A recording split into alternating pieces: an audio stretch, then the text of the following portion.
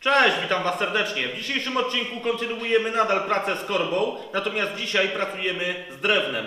Nie jestem stolarzem, nie mam zaplecza technicznego, nie mam maszyn yy, i praktycznie nie mam kompletnie wiedzy na temat obróbki drewna. Natomiast spróbujemy, zobaczymy co z tego wyjdzie, sam nie wiem. Yy, Nie będę też Wam mówił w jaki sposób chcę to wykonać, bo może to być kompletna klapa. Także pozostańcie do końca filmu, obserwujcie i zobaczcie jaki będzie efekt końcowy. Do wykonania tej rękojeści drewnianej e, zastosuję drewno z takiej przekładki z palet. Jest to pra prawdopodobnie sosna. E, Nie znam się na drewnie, nie wiem w jaki sposób wybierać. Mam kilkanaście takich kantówek. E, Nie wiem, czy dobro, dobrą drogę objąłem. Wybrałem kantówkę najcięższą. I to nie najcięższa dlatego, że jest mokra. Ona jest na pewno sucha, ponieważ parę lat leży w pomieszczeniu e, pod dachem. Także jest to drewno suche. Natomiast wydaje mi się, że waga wynika jednak z gęstości tego materiału. Także to posłuży mi za materiał wyjściowy.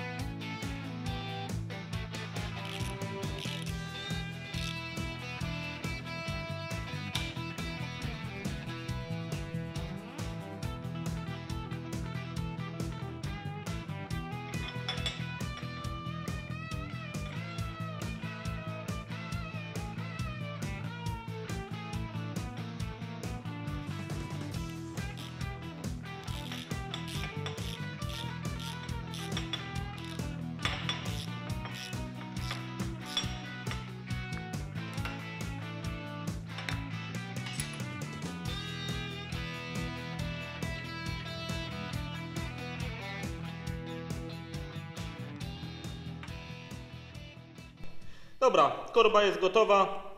Yy, Co prawda w stanie surowym i albo pozostanie w takim stanie, albo zabezpieczę ją oksydą, położę oksydę na zimno. Myślę, że no, też będzie fajnie wyglądać. Yy, No ewentualnie malowanie na czarno, ale raczej pójdę w stronę oksydy. Doradzacie mi właśnie dużo osób pisało, żeby zostawić albo surową, albo dać oksydę i wybiorę te dwie drogi, yy, to znaczy jedną z tych dwóch dróg. Zobaczymy. Ale chyba czas najwyższy sprawdzić, zobaczyć jak ta korba wygląda w miejscu docelowym, czyli na maszynie.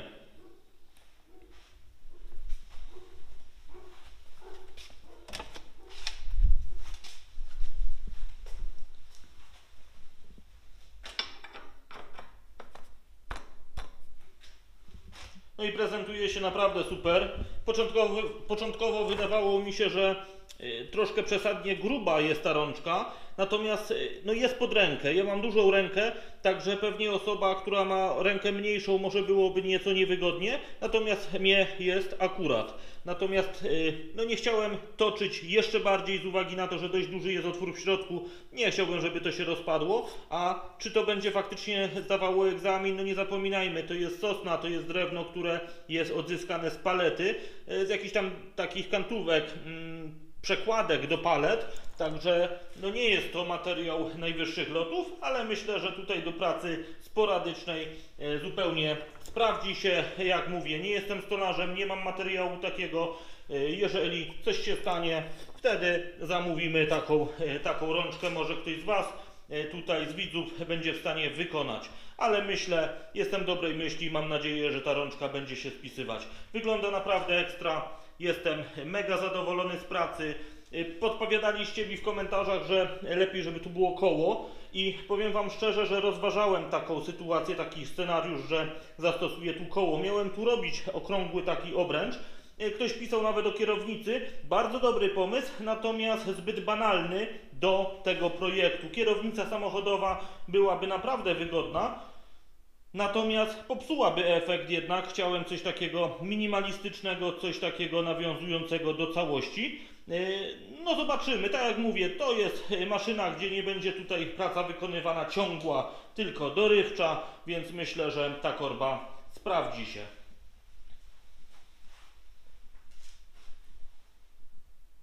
Ta maszyna jeszcze wymaga regulacji, natomiast zanim przystąpię do regulacji, jeszcze muszę uzupełnić takie braki, jak na przykład drążek, który połączy te dwa ramiona dolnej belki gnącej. To jest pierwsza sprawa. Druga sprawa, śruby regulacyjne, które tutaj są, a raczej ich nie ma. Brakuje tych śrub. Czy oryginalnie, może nie oryginalnie, tylko yy, w momencie, kiedy zakupiłem tą maszynę, tu były wkręcone zwykłe śruby.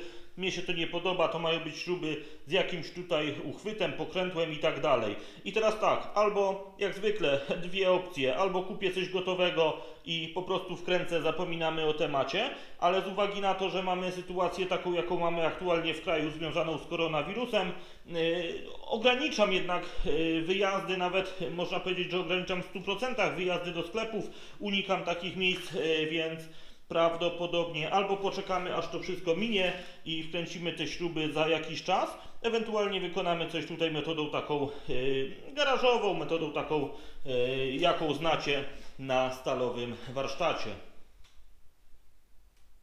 Misja na dziś zakończona i to w dodatku sukcesem. Bardzo się cieszę, choć powiem Wam szczerze, że w momencie, kiedy pierwszy raz uruchomiłem kamerę nagrywając ten właśnie materiał, to miałem pewne obawy z uwagi na to, że nie wiedziałem, czy gdzieś w połowie się nie zatrzymam, czy to nie spali mój pomysł, czy nie spali na panewce, czy to drewno, które e, no w jakiś sposób udolny, nieudolny, nie wiem, po prostu w jakiś sposób było toczone na tej wiertarce WS-15, udało się, natomiast teraz wiem, że się udało, nie wiedziałem tego na samym początku. Bardzo się cieszę, że projekt zakończył się sukcesem. Ja tradycyjnie zapraszam Was do lajkowania, subskrybowania, komentowania, zapraszam na grupę facebookową oraz na Instagrama, linki w opisie pod filmem. Cześć!